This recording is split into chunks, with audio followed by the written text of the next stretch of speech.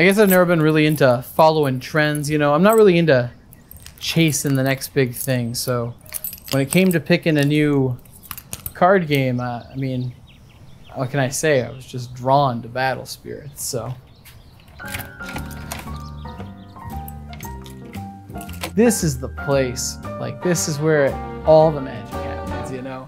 Like, I was, I can let my juices just flow. This is where I brewed my first ever national deck list, you know, back in the good times. Battle Spirits? Yeah, I played some Battle Spirits.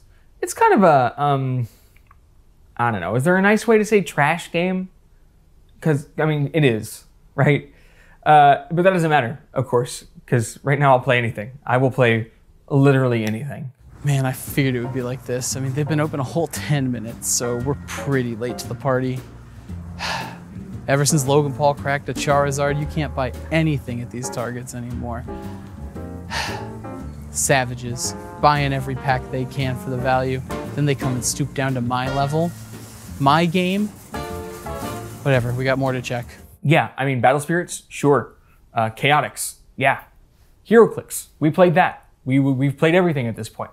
Um, the old DBZ card game, the new DBZ card game, the new new DBZ card game, that one game where you build little pirate ships out of uh, punch out cards, uh, the, the, the Harry Potter TCG.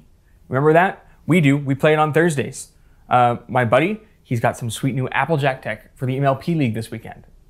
Yeah, honestly, I'm, I'm pretty excited about that one. So I know the last 11 targets were a bit of a bust, but we're not out of luck just yet, okay? Out of luck how? What are we doing here? Well, you see, the national championships is tonight, and I'm a little strapped on cash for the entrance fee, so we're just, uh. Oh, look at this. All right. Huh. A little rough. Bulk, uh, really unplayable even, but, uh, hey, in this economy, I can't believe someone would throw this away. So, you know, that'll help pay the entrance fee tonight. We should be good to go. And the entrance fee is how much? $35. But not anymore. Let's go. I have never seen the competition so stacked tonight at Nationals. Oh my God. Three, three, three people showed up. That's way more than I'm used to. They're right over there playing round one. I got the bye. I don't know if I can take this. I, I think I gotta sit down. Ah, this is, this might be too much for me. I might be through. And with that, we'll go to round two, championship final. Well, that's me. Wish me luck. Okay.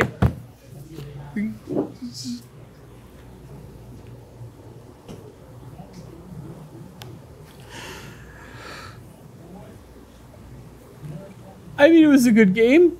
He, he played well. He, he played real well. He I received this card. I just, you know, I just gotta come back next year, you know, and try again because you know it's like it's this. This is what I've got, you know. This game, this game is what I've got. It's all I've got. How was it? I mean, like, winning felt good. Winning always feels good. It almost scratched the itch for a second. But like, God, man, man, I just, I just miss Pokemon. You know, I could take up Magic, but who wants that lifestyle? At least there's My Little Pony tomorrow. Ta-da! Hey, we'd like to give a huge shout out to Gamerz Pair-A-Dice. If you're in the San Antonio area, please check them out. They're super, super cool. They do modern events uh, Thursday through Saturday, and just if you're ever in the area, check them out. They're great people. Thank you so much for letting us film here.